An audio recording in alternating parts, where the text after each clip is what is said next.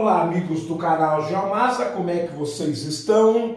Tudo bem? Tudo tranquilos? Nós viemos para mais uma edição do seu Jornal do Masa, aquela edição que nós cobrimos o que aconteceu, o que trouxe de principais notícias a revista Veja da semana.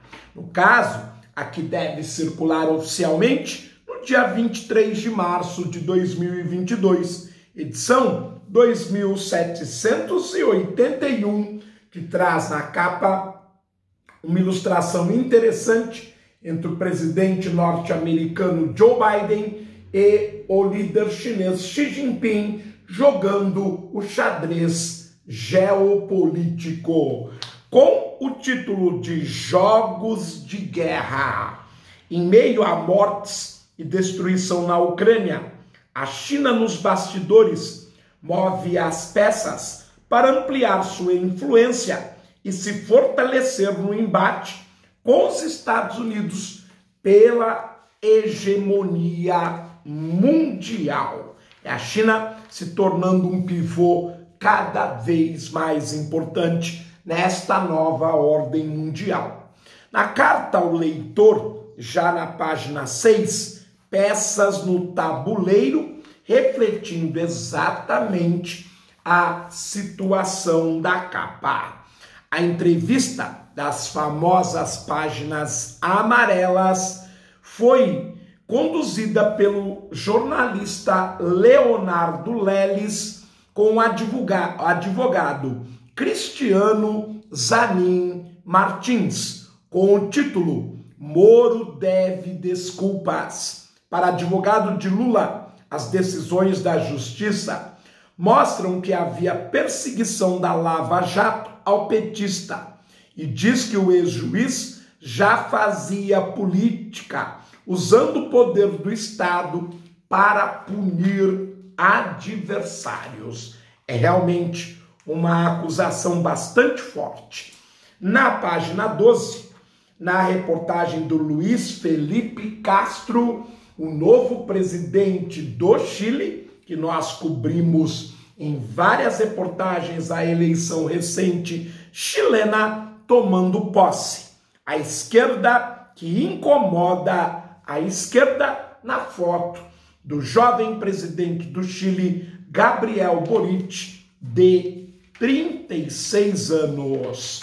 Bem, na sequência, nós vamos para a página 22, onde o Caio Sartori, na seção Brasil, Rio de Janeiro, Brasília me aguarde.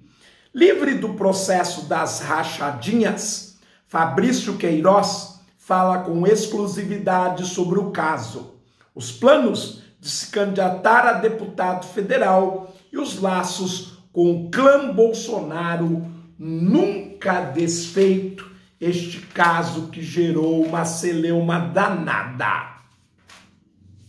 Já na página 32, na reportagem do Bruno Ribeiro, nós temos Brasil, perfil, casamento político. Rosângela da Silva a Janja, noiva de Lula, influencia a agenda e os discursos do petista ao incluir temas como feminismo, alimentação saudável e defesa de animais.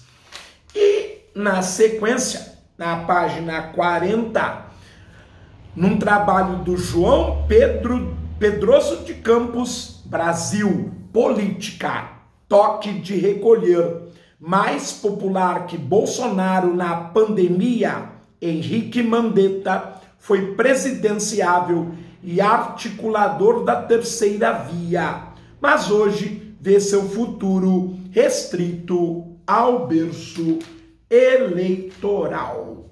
Na página 44, no trabalho do Ernesto Neves, começa a reportagem de capa internacional geopolítica.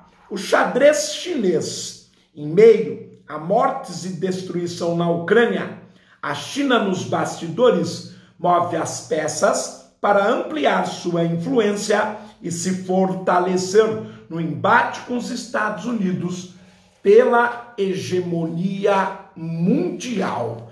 Esta reportagem ela se estende até a página 49. Na página seguinte, a página 50, num trabalho do Felipe Mendes em Economia, Finanças, Ação Coordenada. A instabilidade na economia global, resultante da invasão da Ucrânia, reflete na política de juros dos Estados Unidos e do Brasil e adiciona mais um elemento de risco aos planos políticos de Joe Biden e Jair Bolsonaro. Na página 60, no trabalho da Sofia Cerqueira, geral, sociedade, o amor sem fronteiras.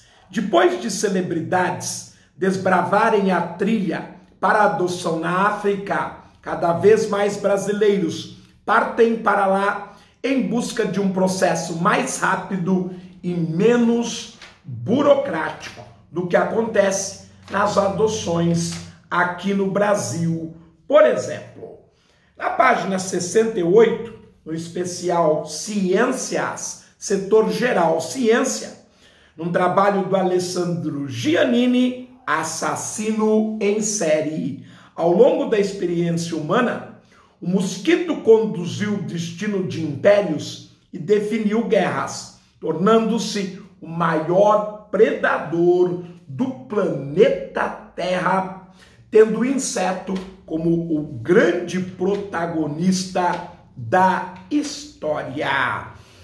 Na página 76, no setor geral estilo, no trabalho da Simone Blaines, O Caminho do Meio, depois de muito tempo esquecida, a risca no centro é a mais nova onda no jeito de arrumar a cabeleira.